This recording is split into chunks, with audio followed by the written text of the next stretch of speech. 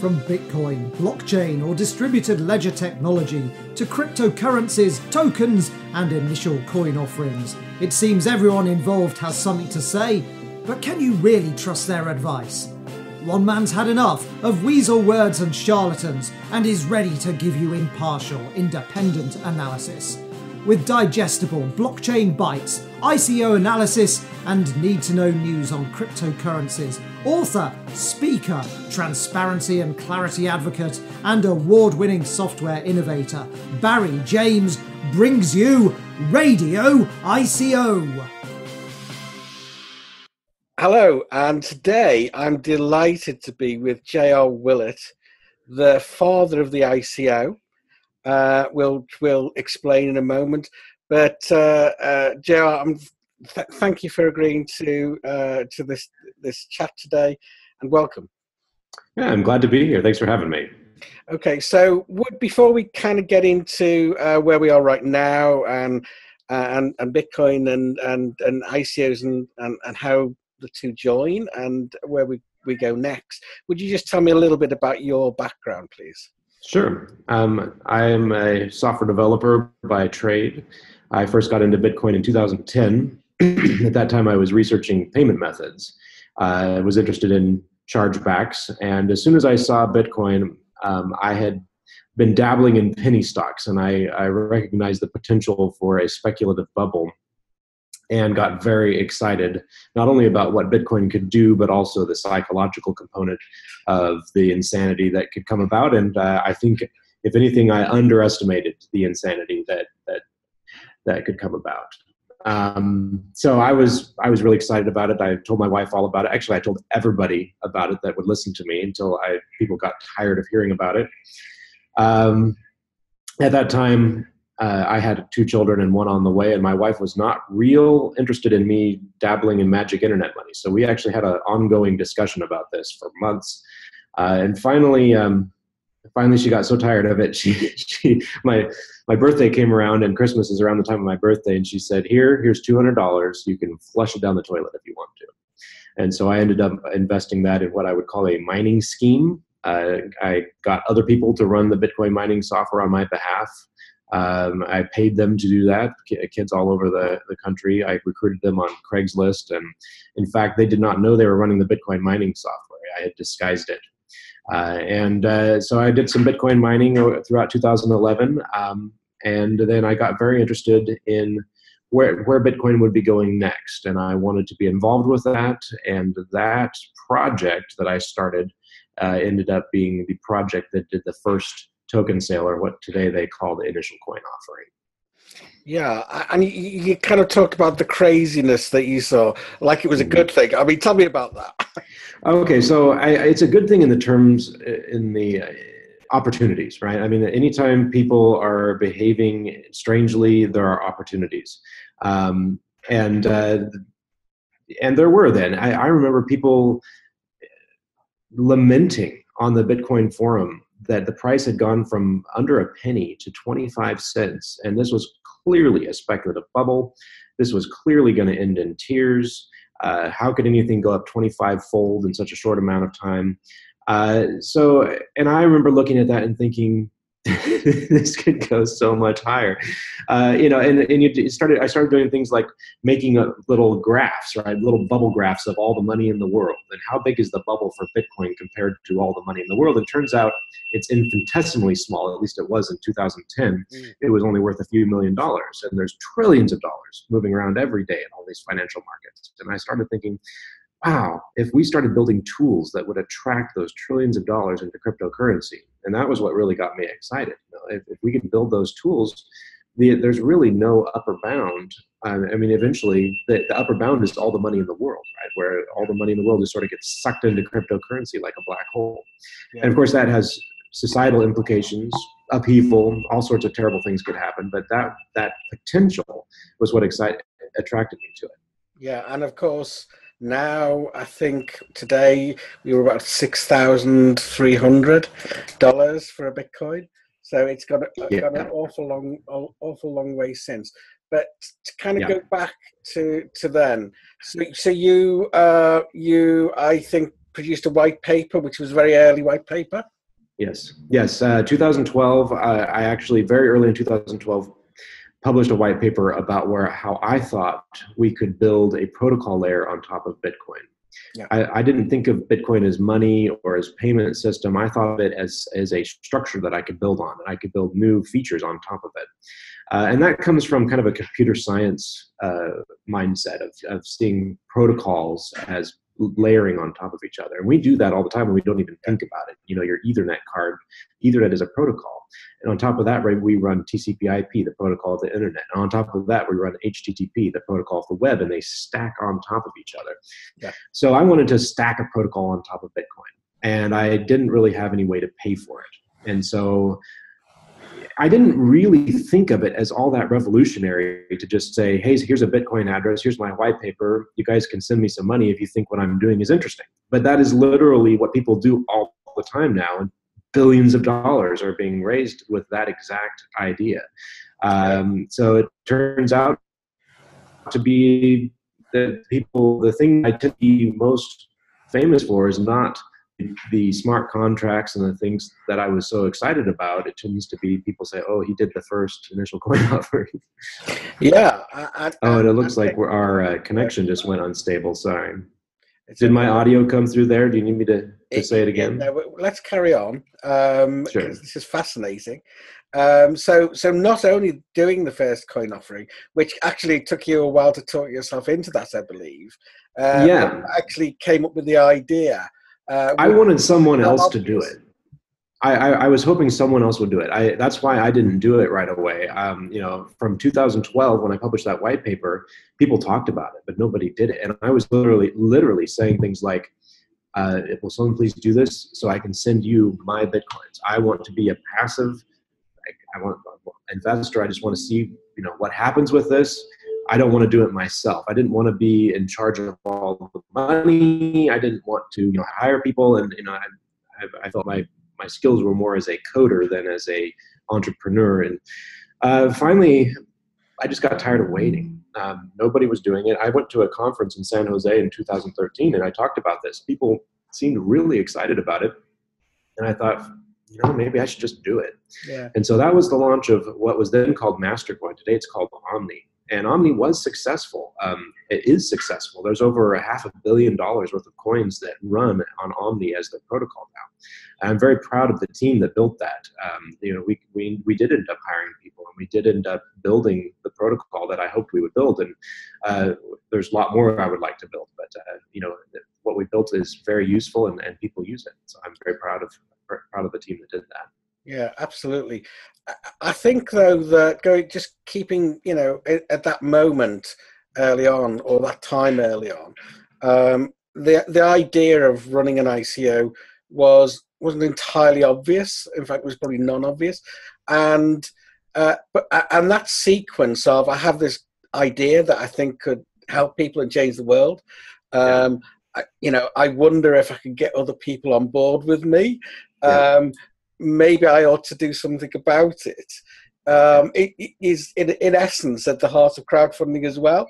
But I don't think you got it from there by the sounds of it. Maybe it was in the ether. I don't know.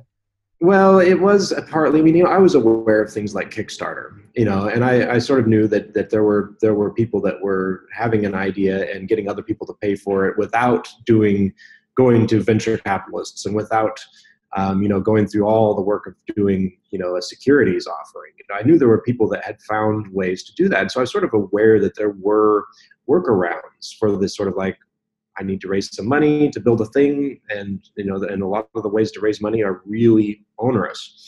Uh, so that was my model that I started from mentally. Um, and I didn't really think of it as all that different from a Kickstarter. However, as soon as I published it, people were saying things to me like, you're going to go to jail. You just you just released a security. And in fact, people told me that they had informed the SEC. I don't know, maybe the SEC has a web form that you can tattle on people or something. But yeah, yeah. Uh, you know, I was I was literally getting messages like I, I informed the SEC about your illegal securities offering, and I'll see you in jail. And yeah. really concerned me, you know, because I had yeah. I have children. I didn't want to be dragged off in the middle of the night by the SEC yeah. SWAT van. So you know that was uh, that was concerning. And I don't think if I had spoke to a lawyer, I don't think any lawyer given that it had never been done before, lawyers don't like things yeah. that have never been done before.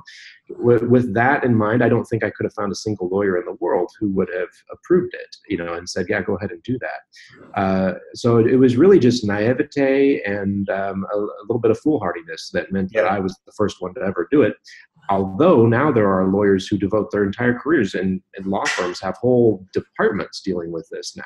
Yeah yeah. Uh, and and of course now they will tell you you know the different ways that you can um, hopefully not uh, be a security and in fact uh, be a u- utility token is a lot of times what they refer yeah. to it as now.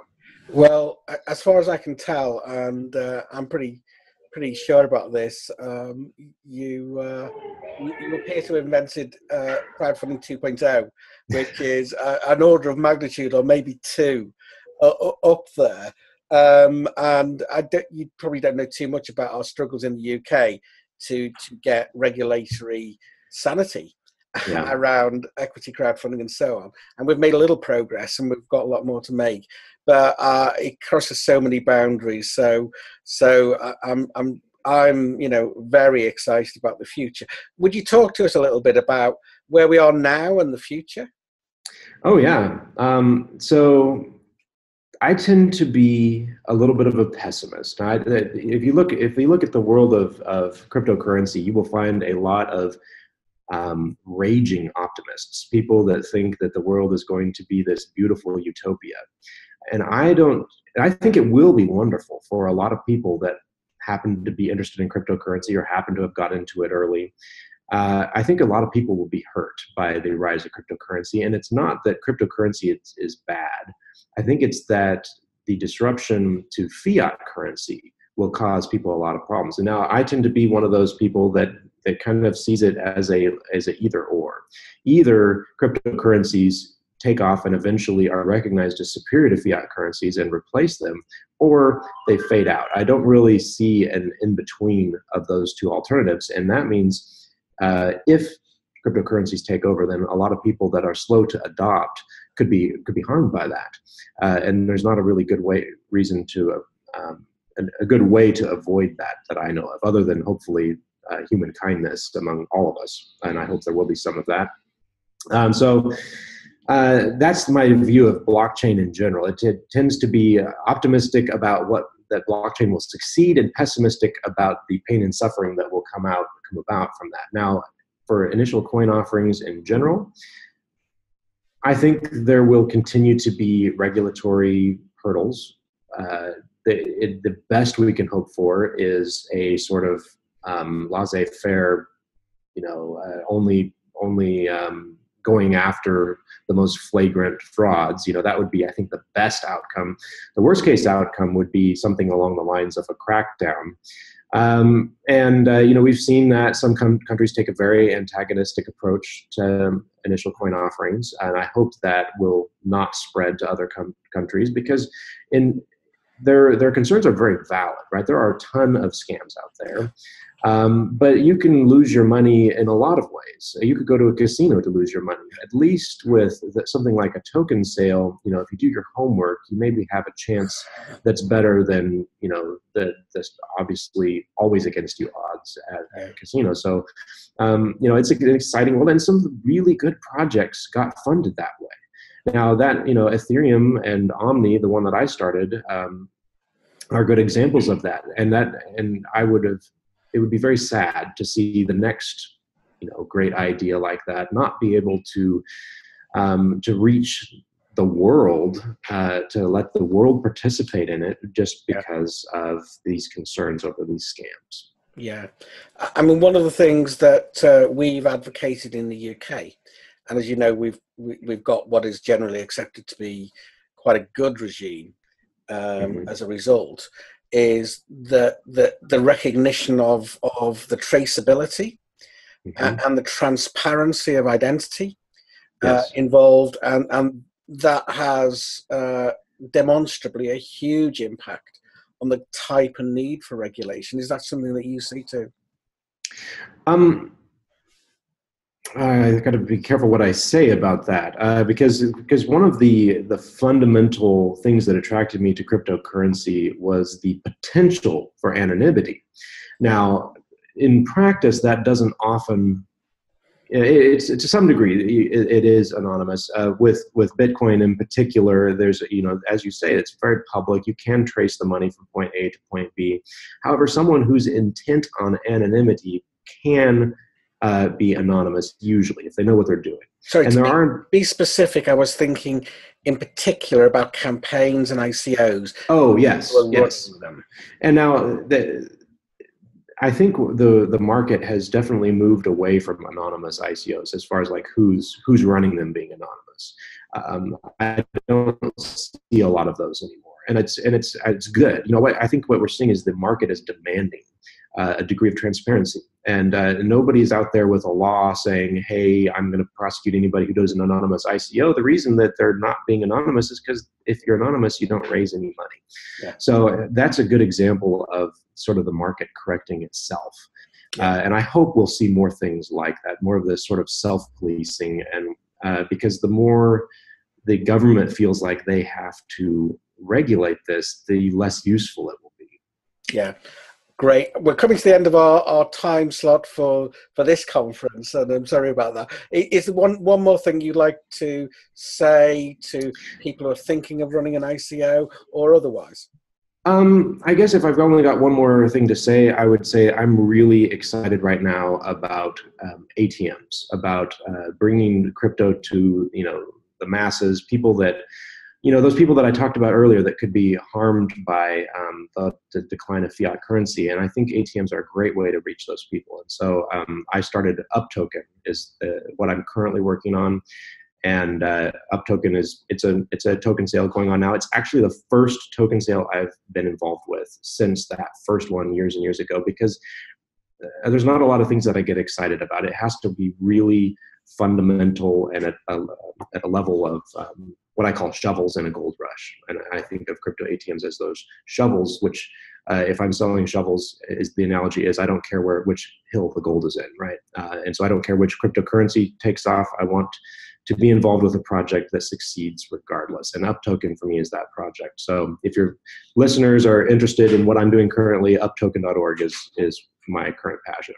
Great, and I'd like to talk to you some more about that uh, after this interview and uh, sure. over the next week or two. So, but again, thank you for making time. It's particularly at short notice uh, yeah. today, uh, JR And uh, thank you again for your for your work in, in in creating ICOs in the first place. All right, it's nice talking to you. You too. You've been listening to me, Barry James, on ICO Radio. If you have a question that you'd like to pose for us or if there's someone that you think we should uh, have on the show or interview, uh, or indeed you yourself would like to contribute to the show, please let us know. You can email us via podcast at ICO Radio. That's icorad.io. You can get the address from the show notes too, and we'd love to hear from you. But beyond that, thank you so much for listening to the show, and if you enjoyed it, please do leave us a review. ICO Radio was brought to you by author, speaker, transparency and clarity advocate, and award winning software innovator Barry James. Get in touch with the programme, put yourself or someone else forward as a guest. Visit ICONewsDesk.com. And if you've enjoyed the show, please leave a review. And don't forget to subscribe to get your next insights and interviews from the ICO Radio podcast.